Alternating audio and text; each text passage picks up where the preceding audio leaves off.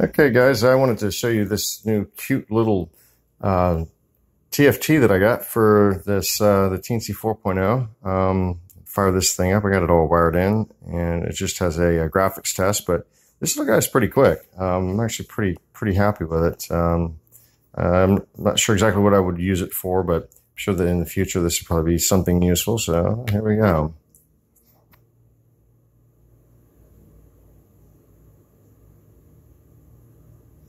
We'll go through a series of graphic tests here. Now, this looks relatively slow, but this is actually delayed, and you quickly it refreshes that screen. It actually runs quite well, pretty fast. So that's that.